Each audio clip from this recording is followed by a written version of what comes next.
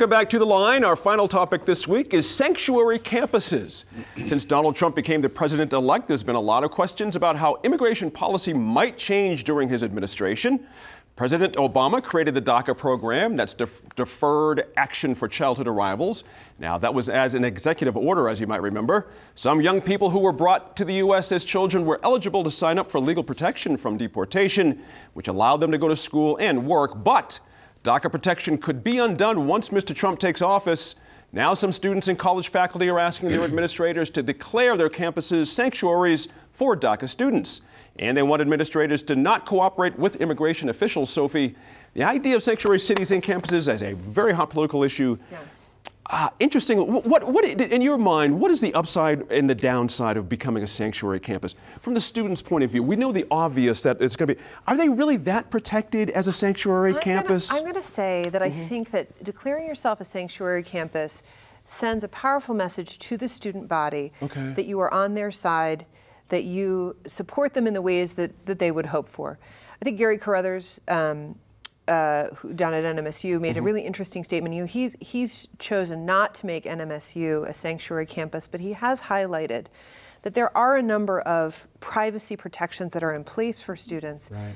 that would make it rather difficult for an ICE agent, for instance, to, to swagger on in and start loading people into into um, uh, trucks or whatever. But mm-hmm. I, I, think um, you know the the question of of is that enough is it's really a shifting question under a new president because mm-hmm. some of the protections that we see are like DACA under executive order some are policies within Homeland Security and mm-hmm. other and other agencies um, and and some are the product of local practice you know so mm-hmm. Santa Fe for instance says we're a sanctuary city that makes it much easier for for instance the College of Santa Fe is it called that still is it called Santa Fe Community College thank you yeah, Santa yeah. Fe Community College yeah. to, to sort of to um, agree with that. I, I, will say, uh, you know, I took a little look at um, the FERPA rules, which are the rules that, that govern um, student privacy, privacy of student information, mm-hmm. and there is a Homeland Security exception for ah. for FERPA. Okay. Um, but most other agencies, I think,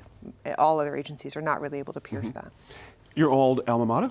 New Mexico State. Is it as a proximity issue because of where in Las Cruces it's just a little bit different than in Santa Fe? Do you know what I mean? Where closer to the border? There are potentially more students there under DACA, perhaps. Is it? Well, different? I think it, it argues the the, the, the opposite, mm-hmm. right? If you're if you're a, you know this is New Mexico. Yeah. I, would like I'd ask people to take a look at our state flag and, and what's actually on that flag.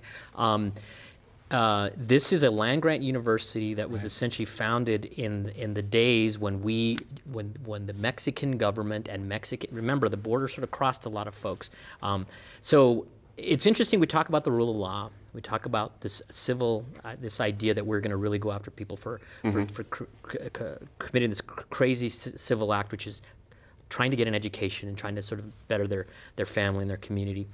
And we just had this conversation about police officers taking lives, and and uh, we have a president now who uh, who says I can I can get around taxes and that's okay. Um, I can have huge conflicts of interest, okay. But when you're talking about people exercising, who by the way are from this part of the world, right. um, part of the basically exercising against again a, a, a, basic human right. I, am gonna I'm gonna abide by the law. I'm gonna I'm gonna get an education. Mm-hmm. I want to feel safe. I don't want to worry that my mom or my sister or anybody's my kid is gonna be uh, targeted. And I don't care what's uh, what Mr. Carruthers thinks, uh, former Governor Carruthers thinks about this. You know. People have been deported in some really, really uh, sketchy situations, mm-hmm. right? It's At work right. and school, and so it seems to me if the state of New Mexico, if you know, cannot, uh, all the institutions in the state of New Mexico cannot say, look, we are different. We have a different history. Um, we are going to protect people who are here, who are here doing what we tell every American to do: get an education, right. you know, com- contribute to your community, do something good with your life.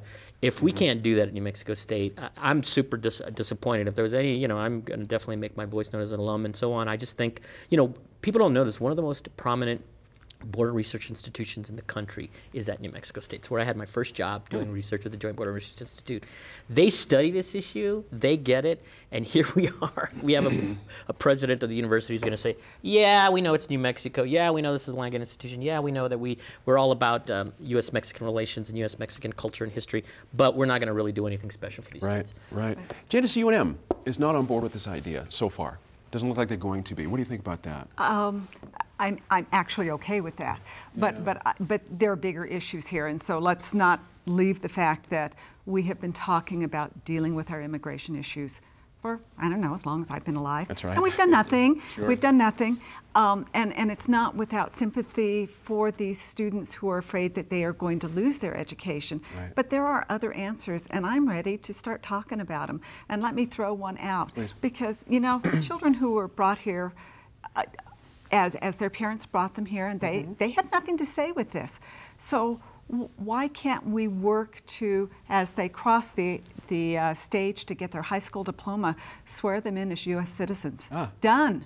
Gotcha. And you know what? Make those same classes available to children who are here by birth gotcha. uh, because you know what? You need to know where you come from. We have other options. We seem very narrow on this. But the flip side of this is I am not sure, and I'm not at UNM anymore, and that's my alma mater. Yeah. I don't remember that ICE was uh, uh, or, or, Border Patrol was in looking for people. Right. I don't remember that, but I also don't remember caring very much whether or not uh, the university administration made me feel really safe and cozy. Okay. I was just worried about getting to class. Yeah, yeah. There were different times, but you know, yeah. now it could be a little bit different. Daniel, again, you you are a man about the whole state. You grew up south of here, but you live here now in Rio Rancho. Is, again, is it better for New Mexico to have this kind of a situation where we have sanctuaries for people? Of course, we've got Santa Fe declaring itself as a sanctuary city on top of their their schools up there. Does it work out better for New Mexico to have it, have this? No. Uh, okay. It's, I think it's a bad message to send. I think it's it's you know saying that we're going to pick and choose what laws we're going to enforce. We're going to let people enforce some of these laws because we like them. We're going to we're going to be against some of these laws because we really don't think they're comfortable. Um, you know, I think there's no doubt, no doubt in this conversation um, that our immigration policy is flawed. Mm -hmm. There's no doubt that our process to becoming a legal citizen or becoming a legal immigrant is absolutely horrendous. I mean, people shouldn't take four, five, six years to be able to come here legally and work. Um, or go to school or try to advance themselves. We are a country of immigrants. All those sayings ring true, but we've also been a country of legal immigrants for a very long time. And at some point, we're going to have to realize either this country is going to make a decision, which I, I think clearly, um, you know, we're seeing the change uh, that, that I don't think the, the, people necessarily across the country agree with what Eric and, and, and I are debating, that we're clearly on different sides of the issue. Mm -hmm. Either we're going to move towards a totally open border country, you know, where we're going to have this ebb and flow movement from Canada down through South America, including the United States and, and everything, or we're not. And, and I just don't think that our economy and our country, the way it's set up, um, can, can maintain uh, the, these invisible borders that just move and have this stuff going on. They did. There's no doubt they did back in the day when mm-hmm. people came across for farming and ranching sure. and people moved and sure. families didn't work.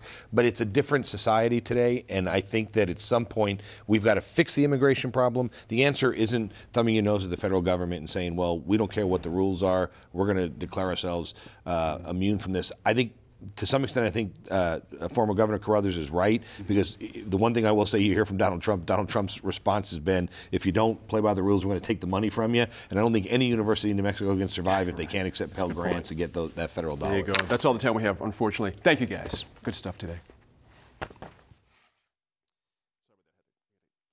I'm Gene Grant. Thanks for joining us for New Mexico in Focus. We appreciate your time and effort to stay informed and engaged.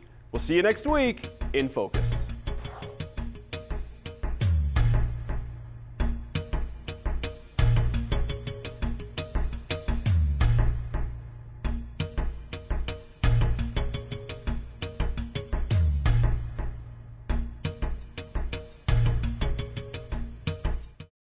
Funding for New Mexico in Focus provided by the McCune Charitable Foundation and the Nalita E. Walker Fund for KNME TV, the KNME TV Endowment Fund, and viewers like you.